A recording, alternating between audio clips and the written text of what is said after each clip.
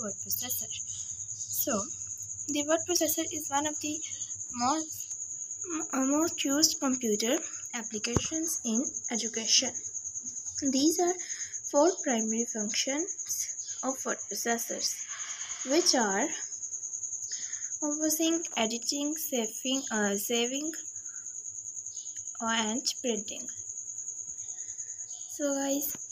आज और इसके अलावा हम पढ़ेंगे word processing software so a word processor is a program that allows us to enter format save and print text text are words and numbers Microsoft Microsoft Word M S Word is a popular word processing program use mainly for creating documents such as brochures, letters, learning activities, quizzes, tests and students homework assignments.